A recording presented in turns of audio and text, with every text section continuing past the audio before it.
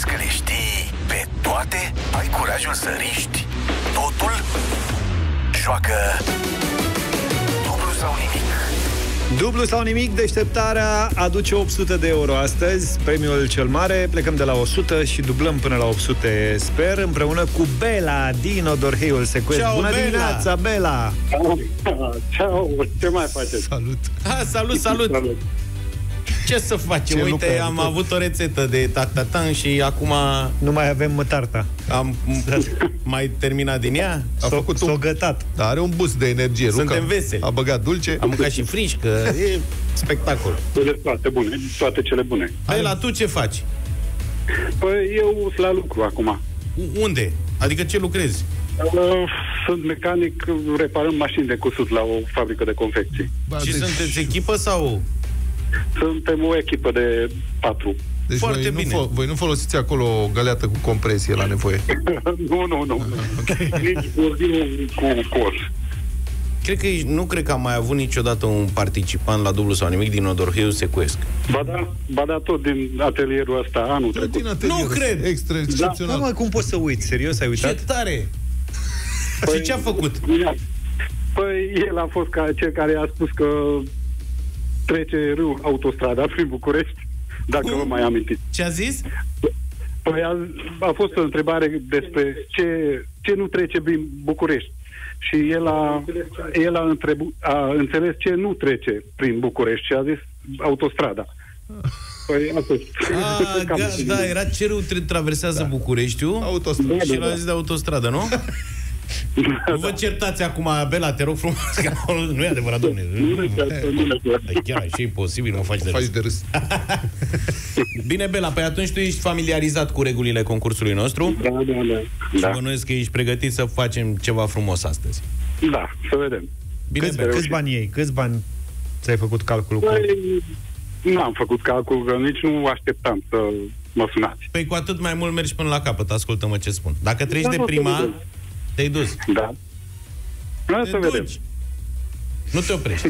Bine, Bela, hai Mergi să pe mâna începem. mea. Mult succes! Mersi. 100 de euro.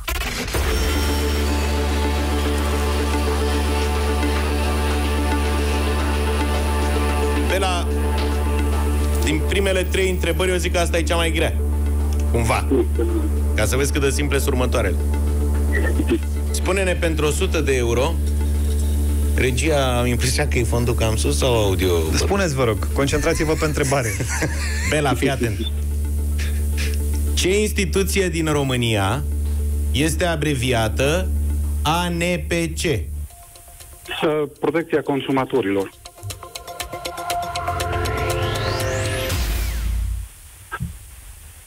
Asta a fost cea mai grea întrebare din primele trei. Iar tu ai Ești răspuns? sigur că răspunsul e bun? Da, da. Hai, mă. 100 de euro, Bela, felicitări! Le am și eu pe ale mele, am lacunele mele, dar instituțiile statului le visez. Da, da, da, da, da, da. În uh, corect e autoritatea pentru protecția consumatorilor. De acolo vine. Da. Da, Protecția consumatorilor mai e sufismat. Național. Națională, da. Da. Da, da. Bela, ai 100 de euro, mergem mai departe, da? Da, da, da. Hai să vedem. 200 de euro. Când a început sezonul ăsta de dublu sau nimic, George m-a ajutat cu 10 întrebări. Șapte din ele nu, pot, nu pot fi adresate, nu știe nimeni să, să răspundă la ele. Sunt cu trupe, cu concerte, cu albume. În ce an a apărut nu știu ce album, nu știe nimeni. Nu mai știu nici interpreți. Deși sunt de mare calibru interpreții respectiv. Așa. O să vi le spun de Crăciun. Chiar am putea să facem de Crăciun. Să știi, întrebările lui speciale. George. Facem dublu sau nimic, practic trei ore la rând, Da. cu întrebările lui George și ale unor ascultători. Da, care că avem cred și niște ascultători. Uite, o doamnă mi-a Întrebări- trimis mai adineauri Da, zic, zic, sunt prea simple întrebările. Puneți de-astea. Eu vă mulțumesc să nu... Deci, continuați să trimiteți întrebări, dar unele sunt uh, foarte amuzante. Uite, să vezi ce ai fi putut să pățești, Bela. Iartă-mă că suntem în afara concursului, da? Acum, în afara concursului. Da, da, da, vreau să spun ce întrebare a trimis cineva. Dacă te deranjează, continuăm concursul și râdem la sfârșit. Nu. Așa, îmi place de tine. Fii atent. Zice cineva. Uite, propunere de întrebare pentru dublu sau nimic. În ce an s-a desfășurat prima olimpiadă de iarnă la Chamonix? Na. Asta e pentru 80.000 de euro, pun eu. Știi ce zic? Răspuns final 1924. Ah, eu voiam să spun 32. Nu, 24 era evident. Ai fi fost aproape.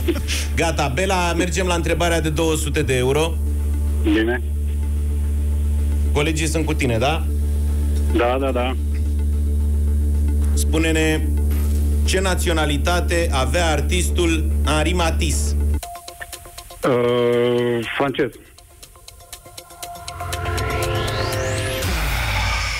Ăsta e George.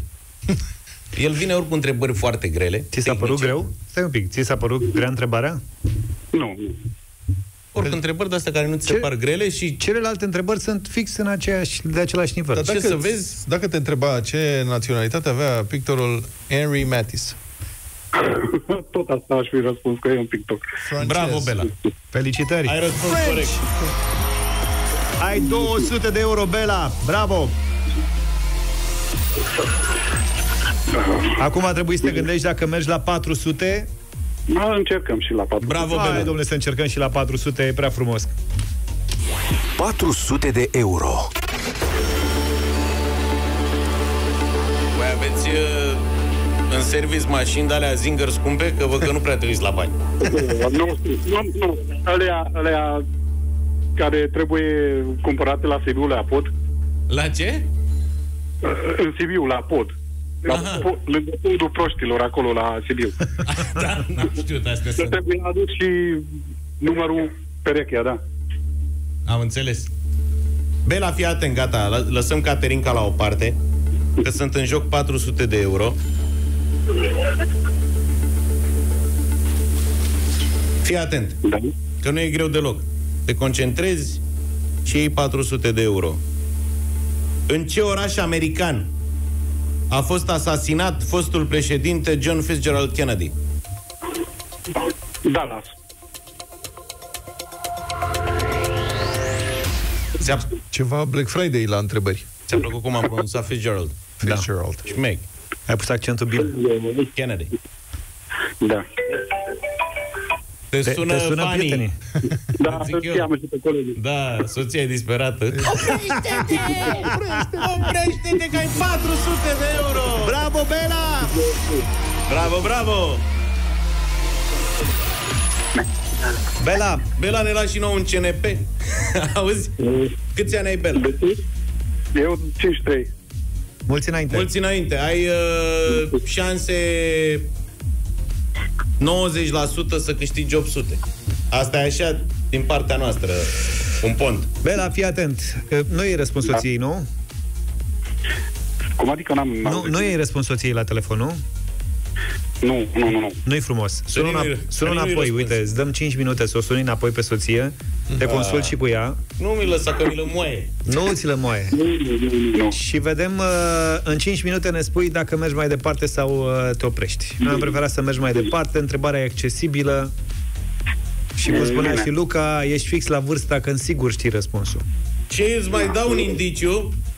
E tot de la George Zafiu. Da, întrebarea e tot de la mine, ai văzut? Dar Dacă ține să ți-a aleg- plăcut aia cu Matis, Pe alea tehnice da. grele le-am scos, adică nu... Da, da. bine. Vedem.